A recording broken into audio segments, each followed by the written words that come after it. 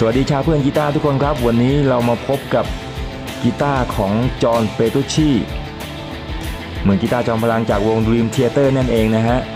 รุ่นนี้เป็น signature ของเขา Ernie Ball Music Man Nomad Majesty ครับ รูปลักษณ์ภายนอกสวยโฉบเฉี่ยวอลังการงานสร้างจริง ๆ ฮะ สมกับเป็น Limited Edition ที่ทาง Music Man ทำให้นะฮะ หรูหราไฮโซจริงๆ body เป็นมะฮอกกานีครับมะฮอกกานีทั้งตัวเลยเป็น set neck ด้วย flame ปะหน้าด้วยเมเปิลนะครับ น้ำหนักประมาณ 3.03 กิโลโฉบเฉี่ยวด้วยการออกแบบจริงๆฮะมาดูอุปกรณ์อื่นๆกันครับปิกอัพเป็น humbucking 2ตัวนะครับ ตัว neck แล้วก็ตัว bridge ของ DiMarzio Sonic ตัวนี้เป็นแบบ Active นะครับ จะมีปุ่มใส่ถ่านอยู่ตรงข้างหลัง body จะให้เสียงที่นุ่มนวลแล้วก็ดุดันนะครับ ตามสไตล์ของจอห์นเขาสวิตช์3ทาง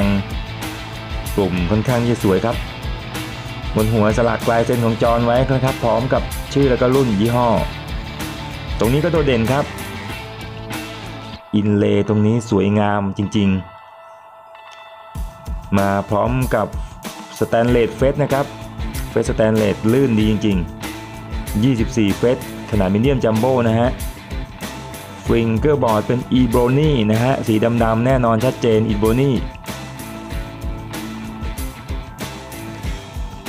กระบวนการผลิต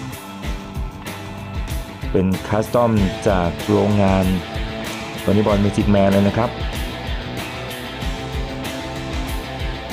งาน handmade แต่ละตัวนี่สวยๆทั้งนั้นนะครับ มาพร้อมกับเคสครับผมเคสก็ดูสวยงามอลังการไม่แพ้ตัวกีตาร์เลยนะฮะเดี๋ยวจะออกสีคำๆหน่อย